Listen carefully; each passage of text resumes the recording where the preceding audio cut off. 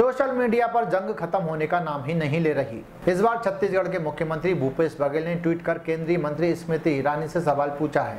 कहा है कि डियर स्मृति ईरानी जी, किस भाजपा नेत्री ने 2004 में गुजरात दंगों के लिए मोदी जी से इस्तीफे की मांग की थी और कहा था कि इसके लिए वह भूख हड़ताल करेंगी, लेकिन बिना करे ही भाग गई।